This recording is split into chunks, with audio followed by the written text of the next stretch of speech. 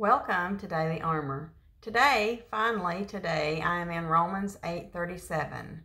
And finally here, um, I will have to say that I am not here with confidence, um, but I am here in spite of my fears. Um, I've not arrived, I've not conquered anything yet um, because I have totally got it wrong of what that meant. And the Lord is showing me through this study in Romans chapter 8 and also um, lining it right up with what the preacher is preaching during our revival this week. Um, I'm just awestruck of how the Lord works all of it together. Romans 8 28. He, he uses all of it in combination with everything else. I mean, he's the know, he's the only one that can do that. He is designing it, he is orchestrating it, he is in control of it. All of that, the God God is doing, not me. Um, but let's get to our scripture, Romans chapter 8, verse 37. I may be a little bit all over the place this morning. I have like um, five scriptures um, uh, in addition to this, but I don't know if the Lord will let us use all of them, but um, let's just get on with Romans 8 37. And it says, Nay, in all these things we are more than conquerors through him that loved us. Nay, in all these things, what things? What things? Well, that's what we've talked about previously. Um, if you look up there in verse number 35, it says, Who shall separate us from the love of Christ? Shall tribulation, distress, or persecution, or famine, or nakedness, or peril, or sword? So in, in, verse number 37, it says, Nay, in all these things we are more than conquerors. He's saying, No, none of that can separate you. None of that um, makes a difference in God's economy. None of that affects um, what God wants to do. What is that? That's that tribulation, distress, persecution, famine, nakedness, peril, or sword. All of those things that go on in our life that can happen to us and sometimes all at the same time. Sometimes it's not just one thing. Um, sometimes it's all at the same time.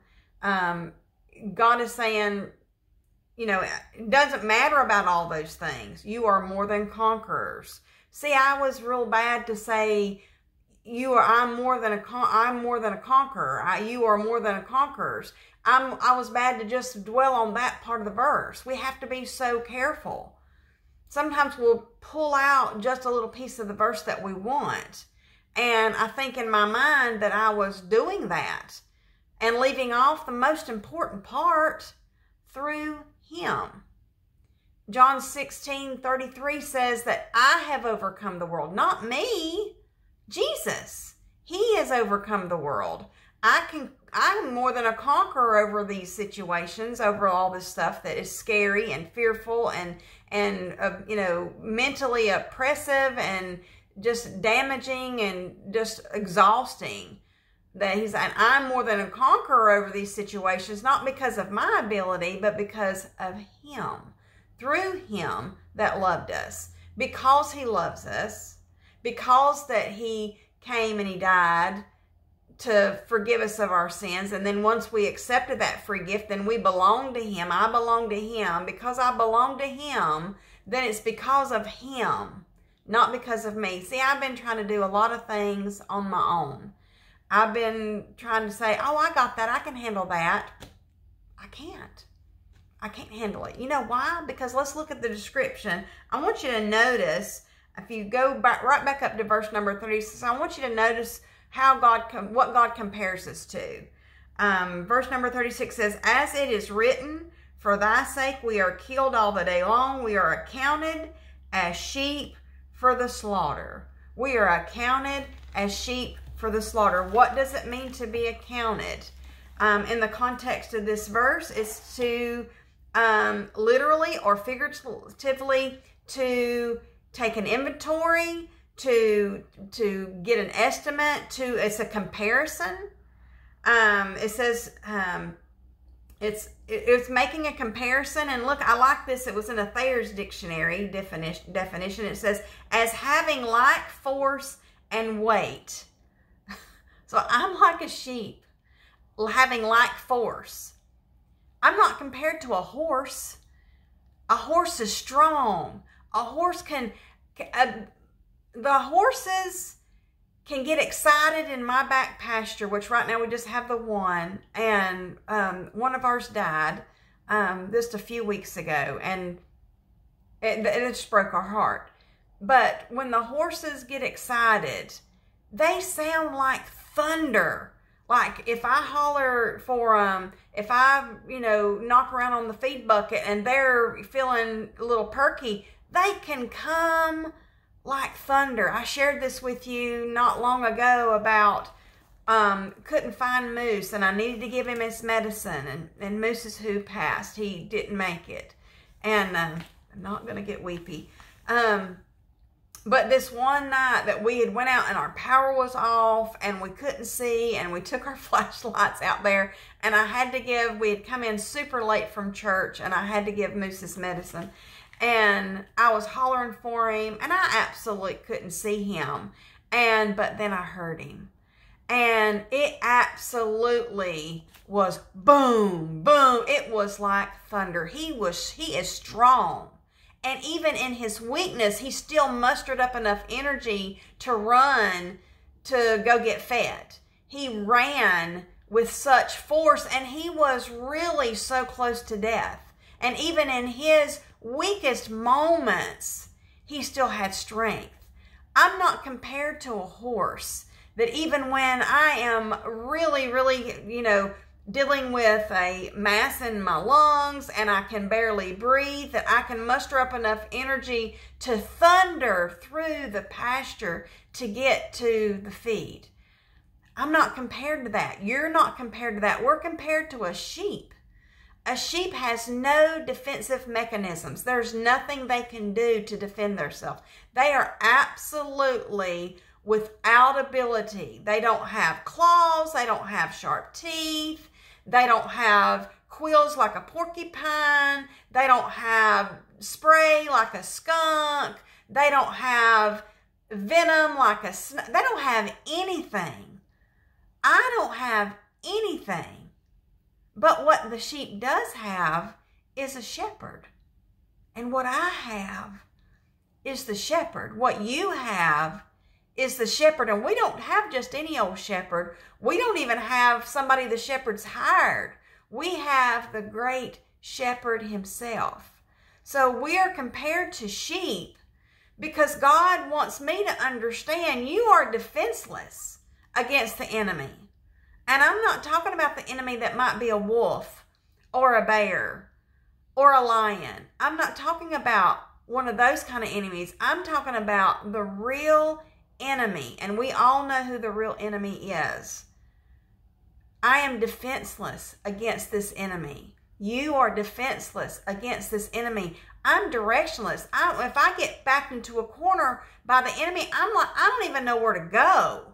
I don't even know. I mean, if I get pinned up, I, there's nothing I can do about it. If you get pinned up, there's nothing you can do about it. But God says we're more than conquerors. Well, how? How am I more than a conqueror? Through Him, through the shepherd, through the Lord. At the beginning of the revival this week on Sunday, the preacher that's preaching the revival, Brother Mike Suffin, he took us to the book of Numbers the book of Numbers. I've read this many times. I have I, I go to this, you know, throughout the year a lot. Um, and it really, really sunk in even more so personally to apply it to my life.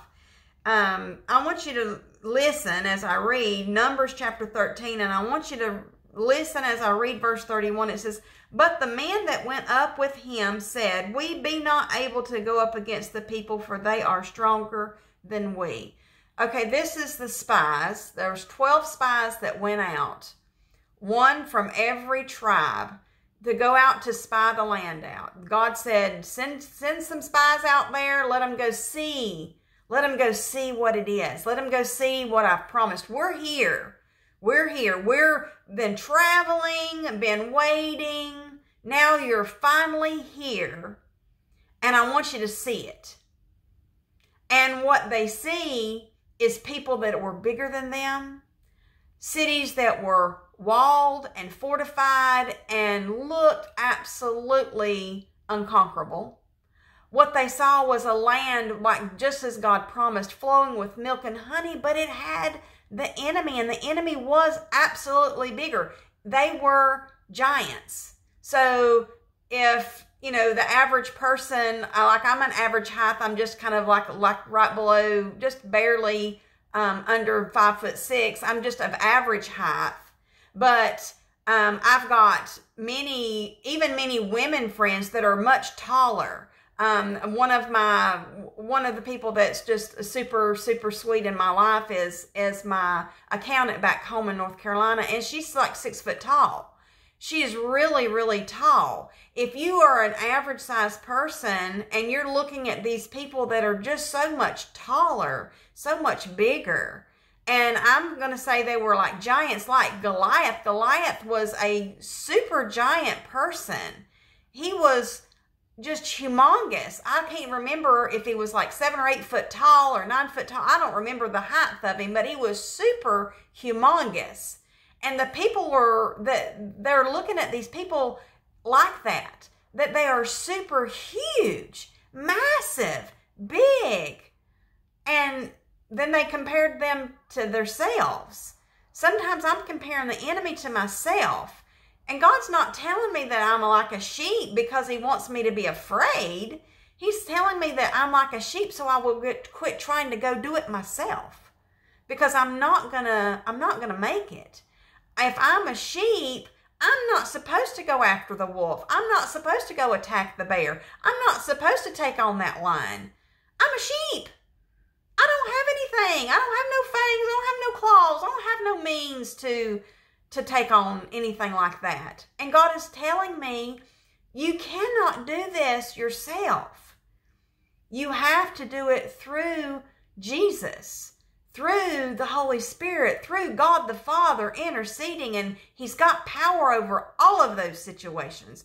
Over what? Go back to that verse number 35. He's got power over whatever tribulation, whatever distress, whatever, whoever is persecuting you, he's got power over them. I don't, you don't, he does.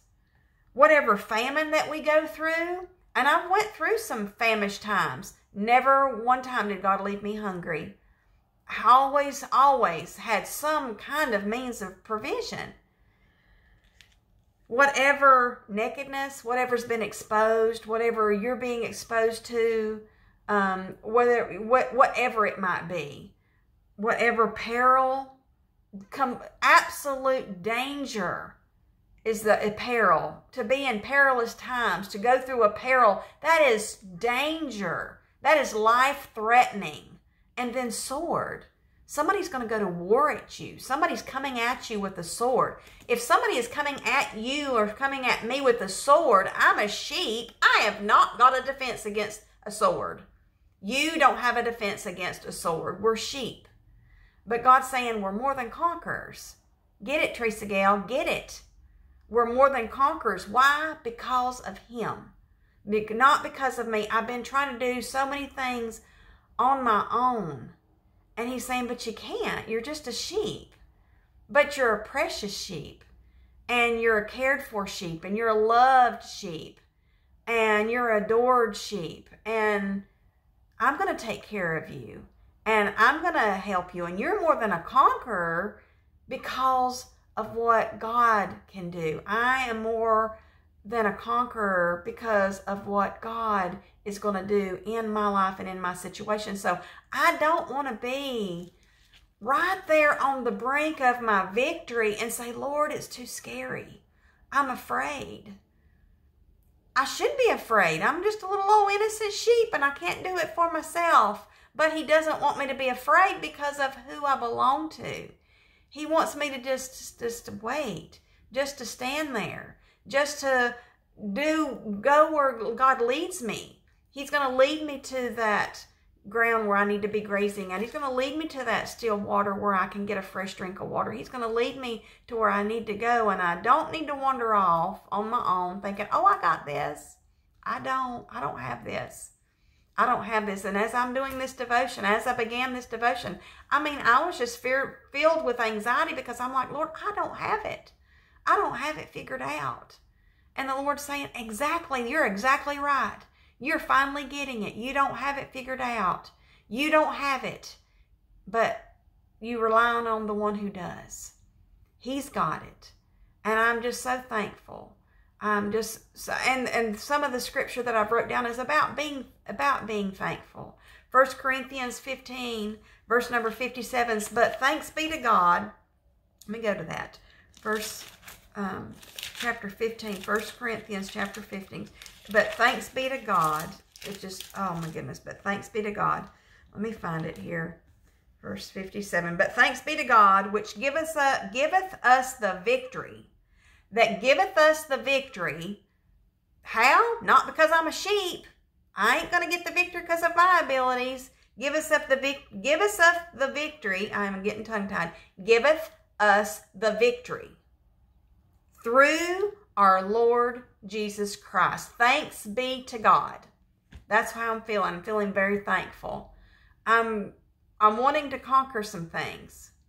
And I've been trying to do it myself. And God said, "No, you don't have it. You're not supposed to. You're just a sheep. You're just defenseless." And you know what I think about like why did he make us so defense defenseless? Because he knew how big the enemy was that was coming up against us. And he says he gets more glory out of taking us that are defenseless and getting the victory in spite of it. And he's he's given a good old saw, a punch to the mouth to the to the enemy for us. I'm not, he is. He gets the victory, and I'm going to give him thanks. Thanks be to God. When which goeth he, he giveth or he giveth us the victory through Jesus Christ, through our Lord Jesus Christ, through my Lord Jesus Christ. If you're saved, he's your Lord and he's going to handle it. He's going to take care of it. He's the one that is caring. He's the great shepherd and he cares for me and he cares for you. And that's why we're more than conquerors. Thank you for joining me. I look forward to seeing you again soon.